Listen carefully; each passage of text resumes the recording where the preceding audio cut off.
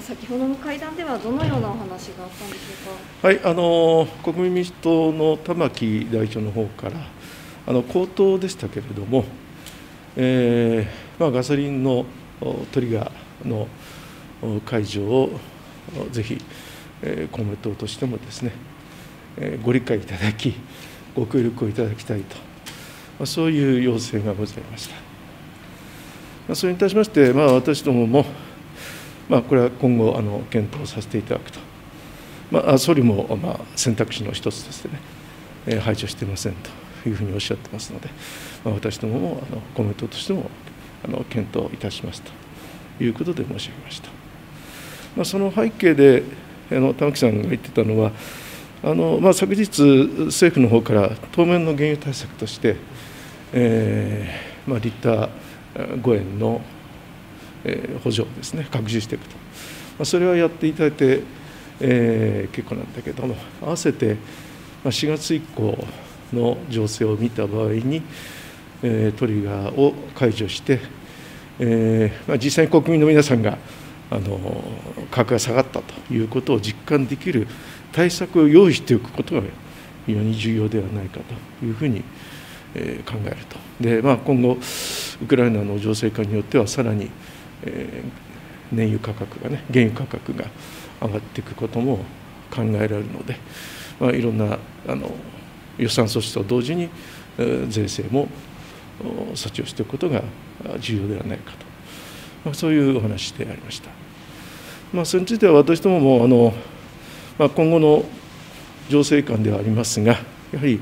えー、原油の価格高騰がやっぱり国民生活に、まあ、いろんな面でやっぱり効いてくるということがありますから、そういったことに対してやっぱり対応していかなければいけないと、えー、いうことについては、我々も同じ考えだというふうに申し上げます。各社さんどうぞ。共同通信なんですけども、はい、まあ今日の合意点としてはその今後の対応について。まあ、原油高、まあ、合意点というか、まあ、合意したってわけじゃないんですけどね、要請があって、まあ、我々も今後検討するというふうにしたということです。はい、あの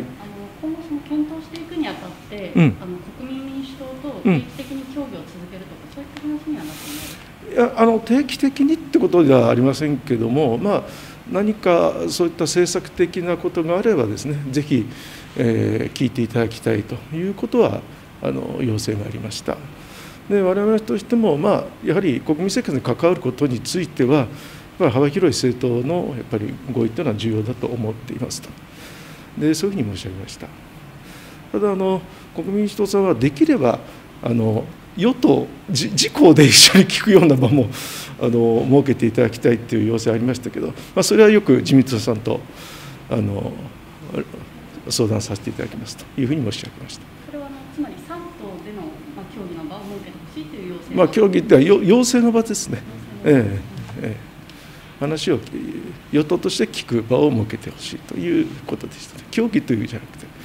えー、要請を聞く場ということでした。あのトリガー情報について、現状のあの改めてご認識と、まあはい、あの現時点でその必要性についてどうお考えになるか、はい、と今日その会談の場でどのようにその点はい、会談の場では先ほど言いましたように、まあ、あのまずはあの、まあ、今後のその原油価格の高騰、それがやっぱり国民生活にどう影響を及ぼしていくかということについて、やっぱり慎重に見ていかなきゃいけないというのが我々というのが我々公明党の立場であるということですね。で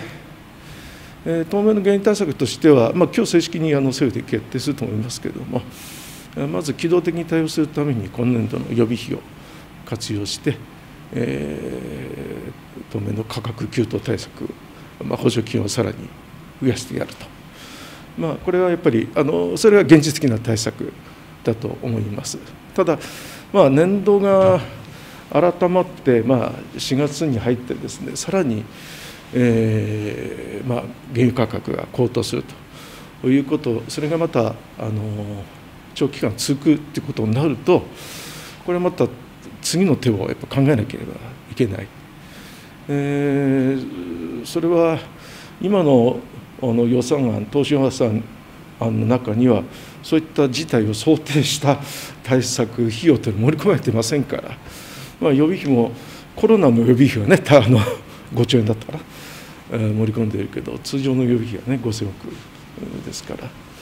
まあ、当面それを活用しするとしてもで十分対応できない場合はやはり次の手を考えなきゃいけないと。新たな経済対策もやっぱり視野に入れてね、まあ、今後は考えなければいけないというふうに思っています。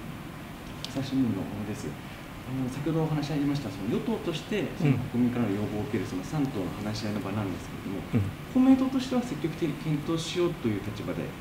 らっしゃるんでしょうか？うんまあ、自民党さんと、まあ、の相談ですけどね、あのー、まあ、自民党さんがよければ、我々は決してそれは否定する立場ではありません。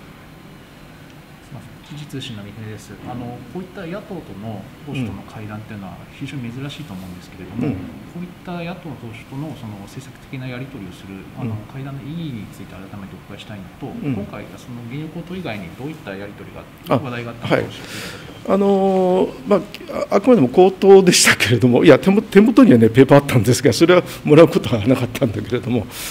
あの例えばあの、公明党とも非常に共通する政策とおっしゃってたのが、ヤングケアラーの問題ですとか、あるいはあのカスタマーハラスメント、あの要するにクレーマーですね。そういったものの対策、これはあの公明党さんも非常に親和性が高い、であのぜひ一緒にやらせていただきたいというお話はありました。はい、すみません、産経新聞です。その会談の中で、あの政策以外の、うん、例えばあの参院選の話とか、そういった選挙に関わっていや、それは全くありません。はい。すみません、毎日新聞ですが、はい、あの国民民主党はですね、あの予算案に関して、うん、まあ、トリガー条項解除をしなければ参議院では、うん、あの反対に回るというふうにあの、表明をしているんですけれども、この予算案に対する参議院の対応について何かお話ありましたでしょうか？いや、それは特にありませんでしたね。え。ただ、やっぱり予算案に賛成したっていうのは、国民民主党としてもね、相当な覚悟を持って、これをやったことなんですと。いうふうにおっしゃってましたけどね。すみません、今日はあの玉木代表の方から、まあ、あのあの一緒に官邸に行って要望しに行こうと、そういったなんかお願いみたいなあの一緒に要望しに行くっていうことではなくてですね、はい、できれば総理と山口代表が一緒に聞いてくれませんかと、そういうあの要望があったんです、できればと。ただ代表の方からは、まあ、まずは総理にあのお話あのお話をしていただいて、その後用途としてどういうことができるか検討ししますというふうにお答えされてました。はい、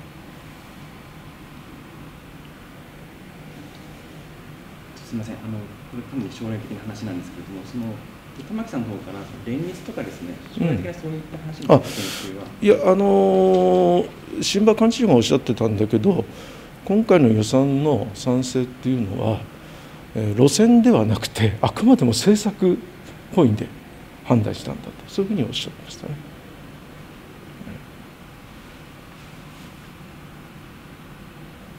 ろしいでしょうか。以上になります。はい、ありがとうございました。